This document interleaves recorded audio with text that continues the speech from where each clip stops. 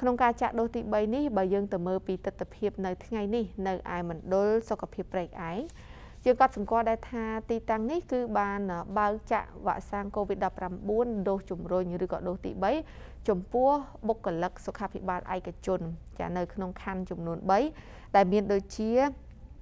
អ្នកដែលរស់នៅខាងខណ្ឌ ច្បារអំពៅខណ្ឌមានជ័យនិងខណ្ឌដង្កោអញ្ចឹងគាត់អាចទៅកាន់មណ្ឌលសុខភាពព្រៃឯងជាទីតាំងមួយដែលយើងអាចចាក់ជូនដល់ក្រុមគ្រូពេទ្យឯកជនចាក្រុមគ្រូពេទ្យទាំងរដ្ឋទាំងឯកជនទាំងមន្ត្រីអាជ្ញាធរជួរមុខអីក៏ដោយគឺមានអតិភិបក្នុងការចាក់ដូសជំរុញនេះអញ្ចឹងក៏សម្គាល់ដែរថានៅទីតាំងនេះសម្រាប់ថ្ងៃនេះគឺវត្តមានក្រុមគ្រូពេទ្យឯកជនដែលមកទទួលការចាក់វ៉ាក់សាំងដូចជាពុំមានច្រើនហើយ ទស្សនវិជ្ជាបែបនេះគឺធ្វើឲ្យប្រធានមណ្ឌលសុខភាពព្រៃឯងក៏បានលើកឡើងអំពីនីវឲ្យក្រុមគ្រូពេទ្យនឹងបញ្ញាប់រុះរាន់មកចាក់តាមថ្ងៃកំណត់ដែរ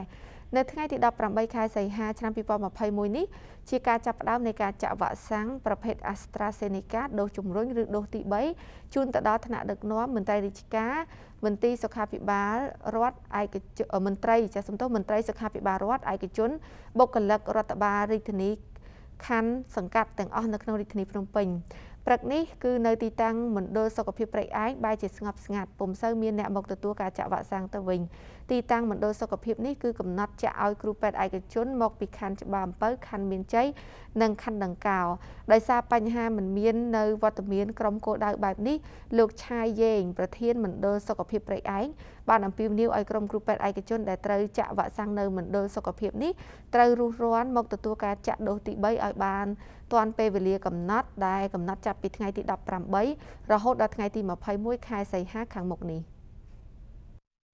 អឺប្រធានមណ្ឌលសុខភាពព្រៃឯងខ្ញុំសូមពាវនាវដល់បុគ្គលិកសុខាភិបាលឯកជន clinic មន្ទីរព្យាបាលនិងពហុព្យាបាលឯកជន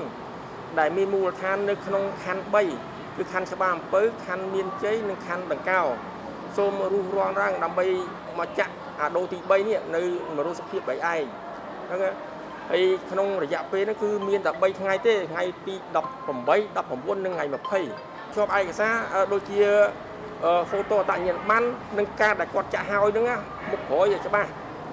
ហើយនៅក្នុងហ្នឹង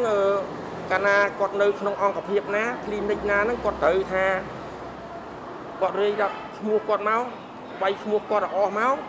ហើយឲ្យប្រធានទីពេទ្យគាត់សញ្ញេផងសញ្ញេបោះត្រាមកផងដើម្បីឲ្យខាងខ្ញុំនោះទៅងាយស្រួលក្នុងការទទួលអញ្ចឹងណាទទួលចាក់វ៉ាក់សាំង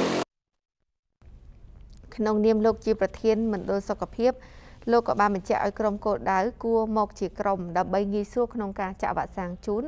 លោកថាវ៉ាក់សាំង AstraZeneca ក្នុងមួយដបចាក់បាន8នាក់ បែបនេះគឺការមកជាក្រុមគឺមិនអោយធ្វើឲ្យមិនមានការខាតបង់នៅវ៉ាក់សាំងសម្រាប់ការទទួលចាក់វ៉ាក់សាំងដូសទី3ជាដូសជំរុញនេះរដ្ឋបាលរាជធានីភ្នំពេញតម្រូវឲ្យភ្ជាប់មកជាមួយនៅបានចាក់វ៉ាក់សាំងបានសម្គាល់ខ្លួនមន្ត្រីរាជការបុគ្គលិកឬឯកសារបញ្ជាក់អត្តសញ្ញាណការងារនៅមន្ទីរពេទ្យ clinic ឬវិស័យឯកជននិងអត្តសញ្ញាណប័ណ្ណសញ្ជាតិខ្មែរឬក៏ឯកសារដែលប្រើប្រាស់ក្នុងការចាក់វ៉ាក់សាំងលើកទី1សម្រាប់អ្នកដែលទទួលបានការចាក់នោះគឺត្រូវរក្សាគម្លាត រយៈពេល6ខែគិតចាប់ពីការចាក់ដូសទី1ឬដូសទី2រួចរាល់សម្រាប់រាជធានីភ្នំពេញនៅពេលនេះគឺកំពុងបន្តយុទ្ធនាការយ៉ាងសកម្មនៅក្នុងការចាក់វ៉ាក់សាំង COVID-19 នេះជូនទៅដល់អ្នកដែលនៅសេសសល់មិនទាន់បានចាក់ដូសទី1រួមទាំងអ្នកដែលត្រូវចាក់ដូសទី3គឺចាក់ជូនទៅដល់ក្រុមមន្ត្រីរាជការគោលដៅនិងការបន្តចាក់ដូសទី2ជូនទៅដល់កុមារនិងយុវវ័យដែលមានចន្លោះអាយុចាប់ពី12ដល់ក្រោម18ឆ្នាំនោះនឹងចាប់ផ្ដើមមកទទួលដូសទី2ចាប់ពីថ្ងៃទី22ខែសីហាខាងមុខនេះ